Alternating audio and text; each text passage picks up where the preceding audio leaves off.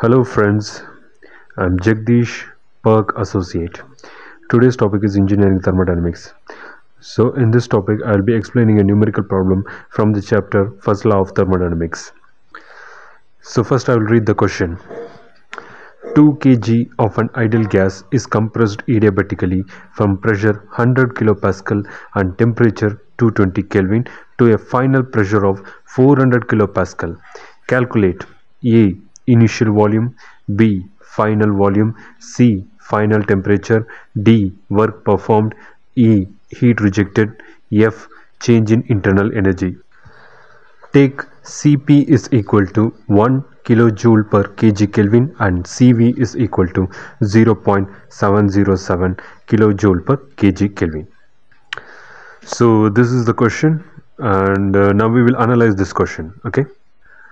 A 2 kg mass of gas is being compressed adiabatically which means the gas undergoes adiabatic compression process due to which the volume of the gas will be decreased the pressure of the gas will be increased the temperature of the gas will be increased the quantity of heat of the gas will be increased the important point of this adiabatic compression process is the generated heat or the amount of heat increased will not be rejected to the surroundings or the heat from the surroundings will not be added to the gas. In simple words, there will be no heat transfer. To be more precise, the heat rejection value will be 0 kilojoule and the heat addition value will be 0 kilojoule in adiabatic compression process. Okay. Now we will see some important parameters which are given in the question. And the parameters are the initial pressure of the gas is 100 kilopascal that is the pressure at the beginning of adiabatic compression process is 100 kilopascal. And the initial temperature is 220 Kelvin. That is the temperature at the beginning of the adiabatic compression process. And the final pressure value is 400 kilopascal. That is the pressure value at the end of adiabatic compression process. Okay and they have given some they have given two important parameters and the parameters are cp and cv cp is nothing but the specific heat added during constant pressure process and cv is nothing but the specific heat added during constant volume process. The cp value is 1 kilojoule per kg kelvin and cv value is 0.707 kilojoule per kg kelvin. Okay? Now in this question we have to find six parameters and the parameters are first one is initial volume which means we have to find the volume of the gas at the beginning of the adiabatic compression process. Second is final volume. We have to find the uh, volume of the gas at the end of adiabatic compression process. Third is final temperature.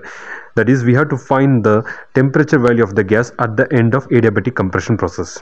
Fourth is work performed. That is we have to find the amount of work done in compressing the gas. Fifth one is heat rejected. That is, we have to find the amount of heat rejected from the gas. And finally, the sixth one is change in internal energy. That is, we have to find the amount of internal energy is being changed during the adiabatic compression process. Okay. So these are the six parameters which we have to find here. Now I will list out the given conditions from the question. First, the mass of the gas is 2 kg and it is taken as m that is small m. Second, the initial pressure of the gas is 100 kilopascal and it is taken as P1. Third, the initial temperature of the gas is 220 Kelvin and it is taken as T1. Fourth, the final pressure of the gas is 400 kilopascal and it is taken as P2. Fifth, the Cp value and the value is 1 kilojoule per kg Kelvin. Sixth, the Cv value and the value is 0.707 kilojoule per kg Kelvin. So by using these six parameters, we are going to find the six parameters in which is given in the question. Now I will move to the solving technique.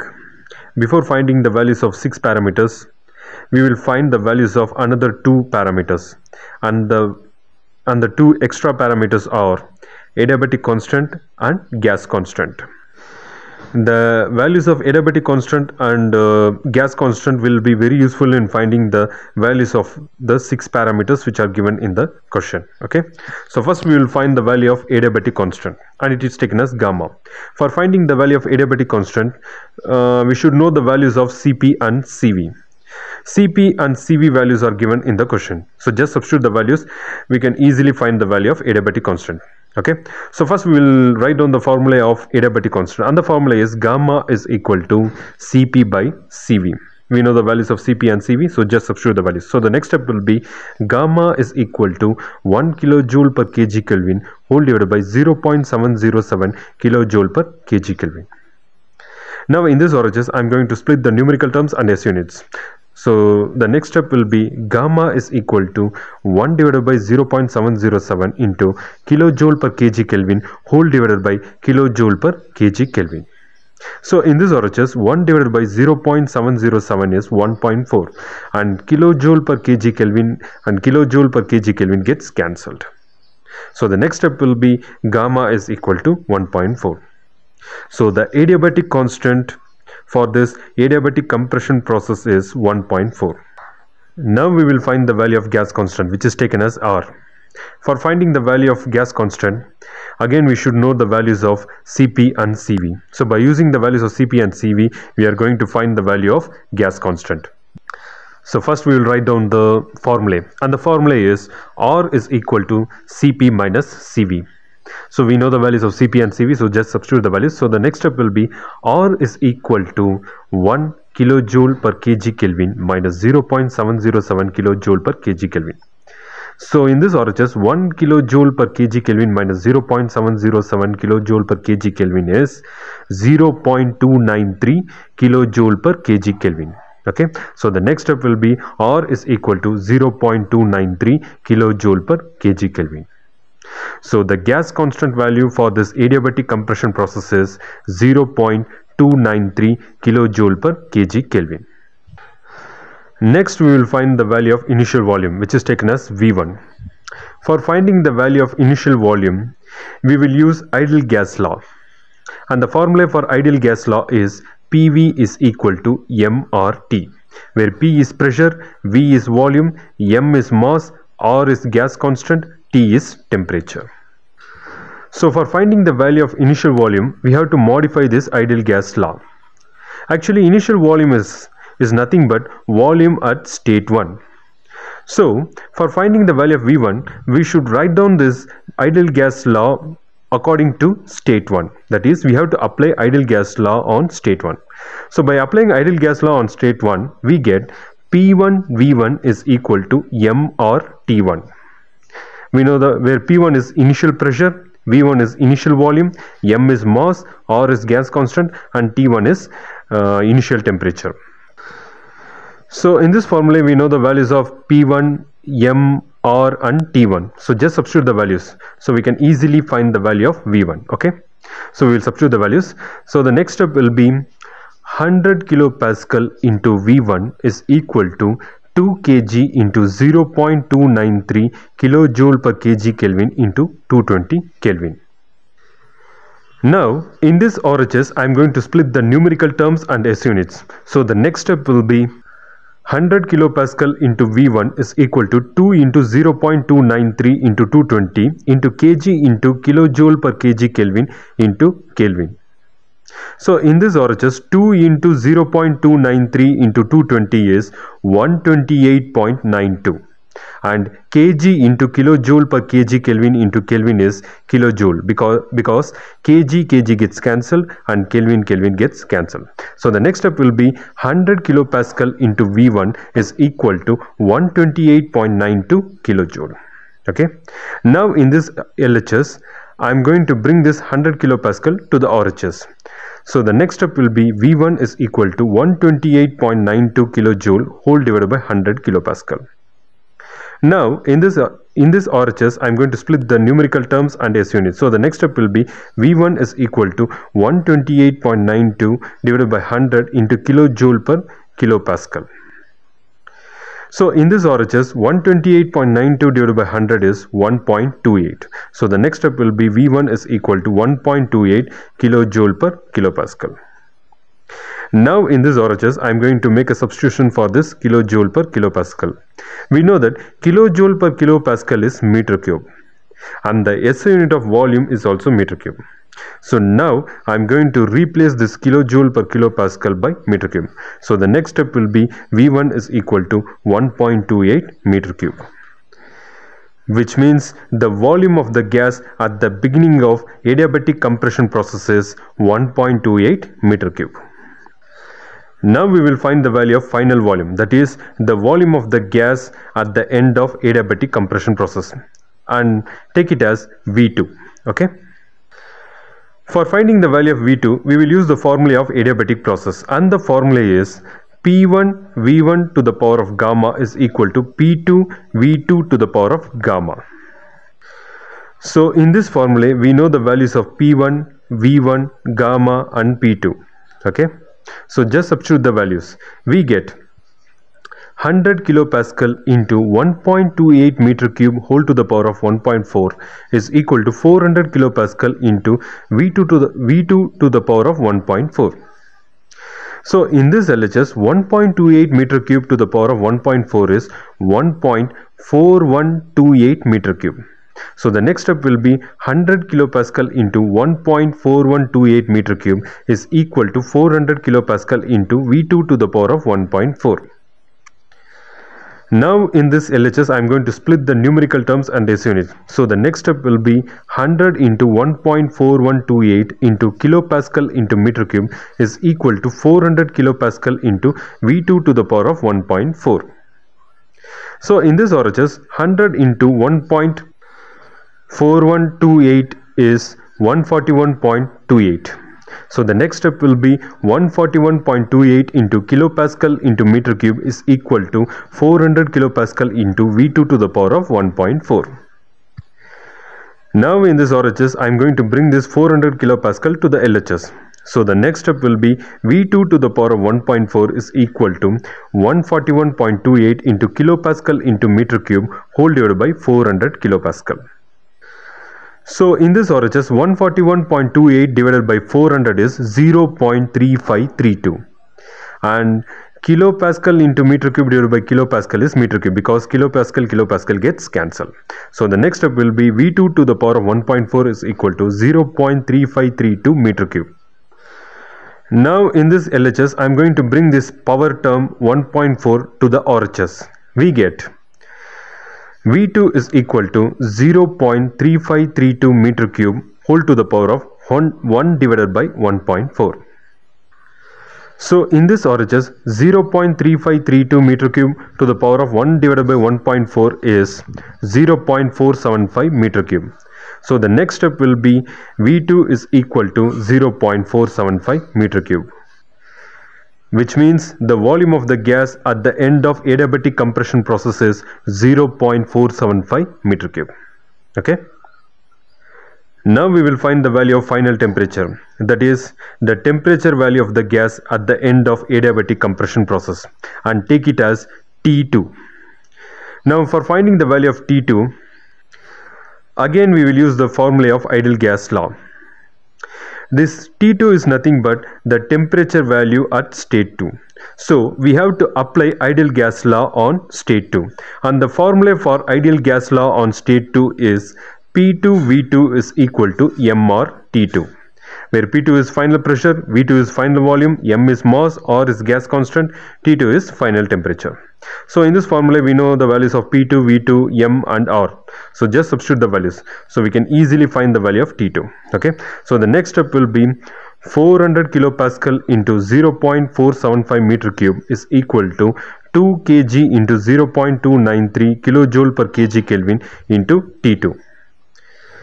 Now in this LHS and RHS I am going to split the numerical terms and SI units. So the next step will be 400 into 0.475 into kilopascal into meter cube is equal to 2 into 0.293 into T2 into kg into kilojoule per kg Kelvin.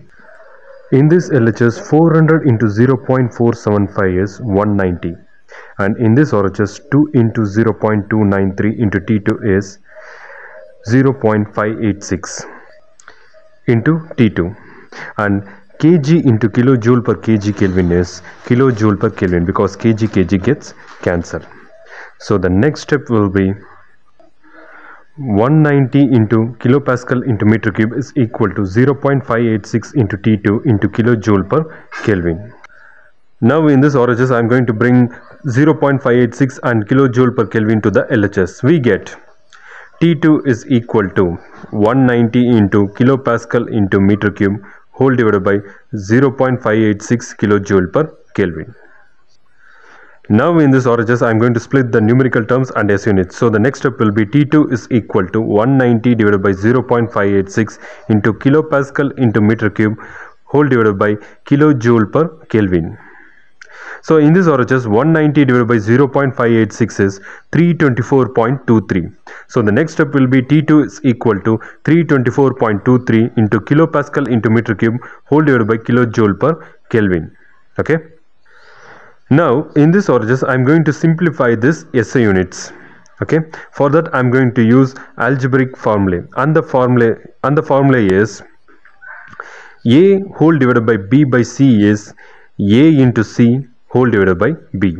So similarly kilopascal into meter cube divided by kilojoule per Kelvin is kilopascal into meter cube into Kelvin whole divided by kilojoule because kilopascal into meter cube is A and kilojoule per Kelvin is B by C.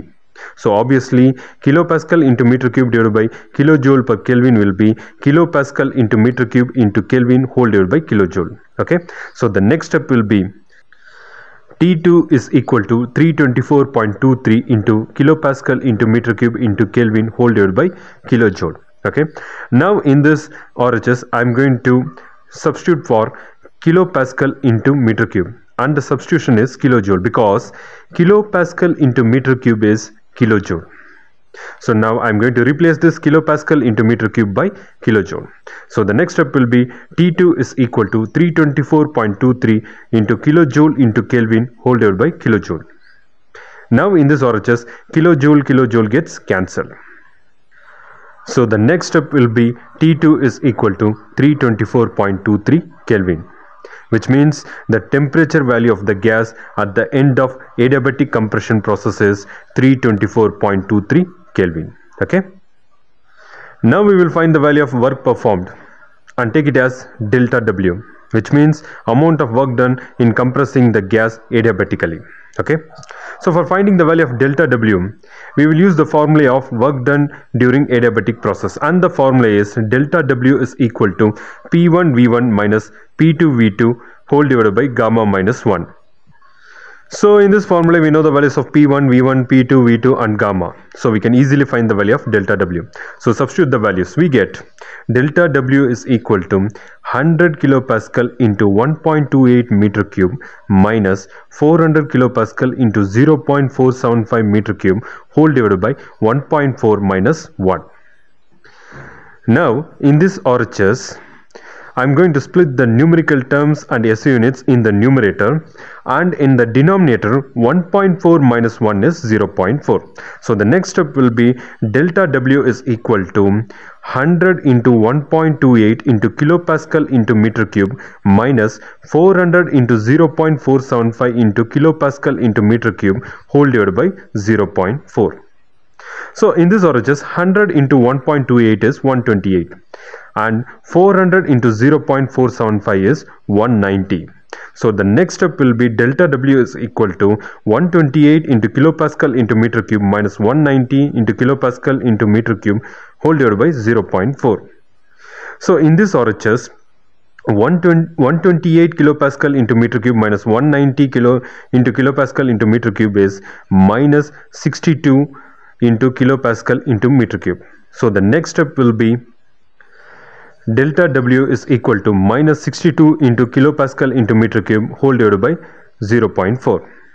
So in this RHS minus 62 divided by 0.4 is 155 that is minus 155. So the next step will be delta W is equal to minus 155 into kilopascal into meter cube. Now I'm going to make a substitution for this kilopascal into meter cube. We know that kilopascal into meter cube is kilojoule. So I'm going to replace this kilopascal into meter cube by kilojoule.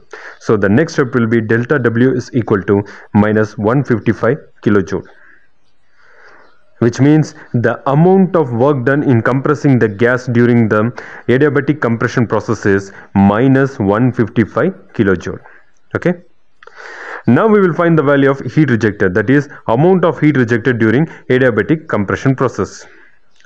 As I said earlier, in adiabatic process, generally in adiabatic process, whether it is adiabatic expansion process or adiabatic compression process, there will be no heat transfer.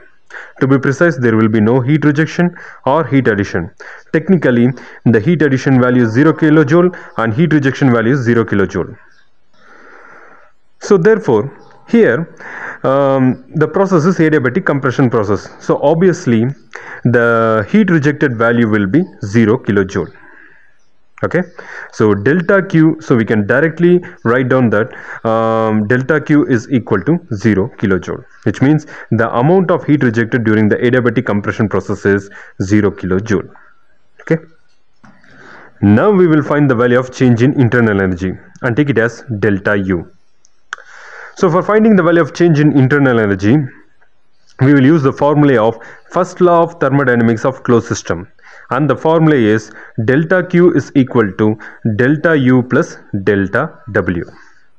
So in this formula we know the values of delta Q and delta W. So we can easily find the value of delta U. So substitute the values, uh, substitute the values of delta Q and delta U. I mean substitute the values of delta Q and delta W.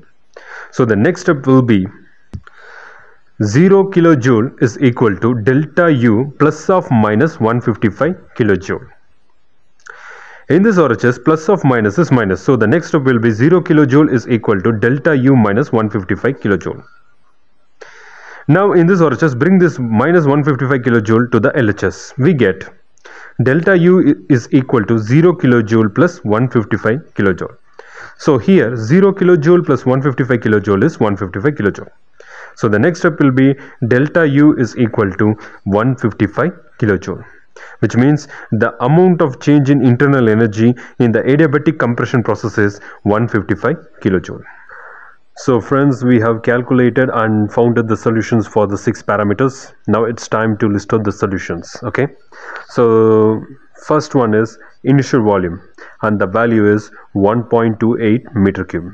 Second one is final volume and the value is 0.475 meter cube. Third is final temperature and the value is 324.23 kelvin. Fourth is work performed and the value is minus 155 kilojoule. Fifth is heat rejected and the value is 0 kilojoule. Sixth is change in internal energy and the value is 155 kilojoule okay so friends, I hope you all would have understood this problem. If any doubts are there, please do comment in comment box and remember to like, share and comment on our videos. And also don't forget to subscribe our channel, The Mechanical Engineers Team. Thank you friends.